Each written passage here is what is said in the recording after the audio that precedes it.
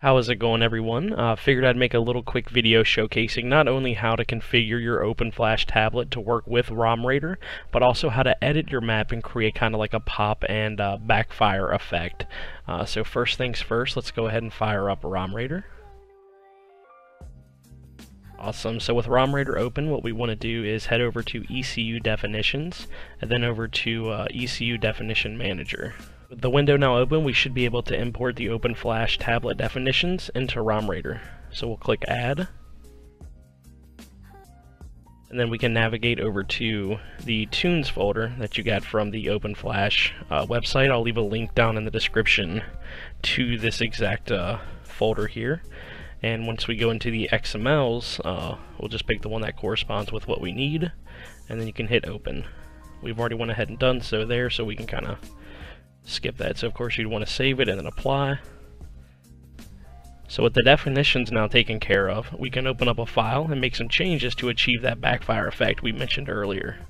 So we'll head up the file and then open image, then just navigate to the uh, corresponding bin file for your your needs. Uh, so we'll go ahead and fire this up, and you'll occasionally get a um, a definitions error one will more likely pop up. This is completely normal. This checksum corrected. When it's saved, we can just hit OK on that a couple of times. Awesome, now here we are. So, as soon as uh, ROM Raider pops up, you'll get every section you have available to you.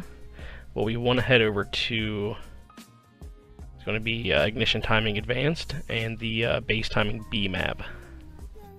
So what we're going to be following, essentially, is uh, a little bit based off of this idea, which was posted by uh, Andrew5856 over on FT86 Club. Uh, essentially, we're just going to adjust this uh, first field to achieve the effect. Uh, no need to, we're going to do it slightly different. Uh, his are set to about negative 9, we'll do about negative 7. so simply just to do this, we just click in the field, you'll see it highlight in gray up here. We just fire in our negative number. There we go. One thing I do a little differently than what was shown in the thread is I adjust only the mid-range. We'll change everything from let's say 2200 to 5200. So we'll go ahead and start there and to select multiple cells just hold control and just kind of click each one. And we'll go ahead and set that to negative 8 and we'll go ahead and actually revert this back to its original value just to be correct. There we go now we can go ahead and save our modified bin file, so we'll just go ahead and put that on our desktop. We'll call that nice memes 93. And there we go, save. So this here uh, will always pop up as well every time you edit. Uh, just go ahead and uh, no on that, and uh, when you save it in OpenFlash Manager to the tablet, it'll actually correct those uh, checksums for you, so don't even worry about that.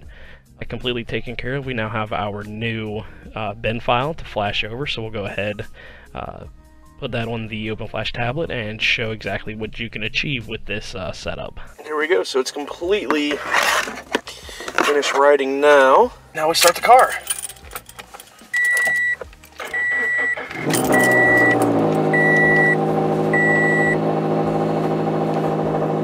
I have got to get gas, dude. Good grief. So yeah, we'll let the uh, we'll let the car idle out. It's supposed to go for about 45 seconds or so, and then we'll go for a ride.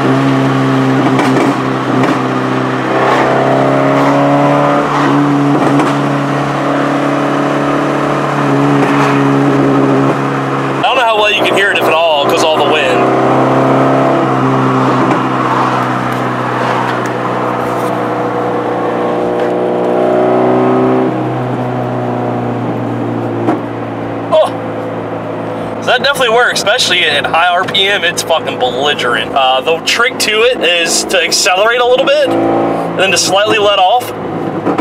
That is fucking all. Oh, have you heard that?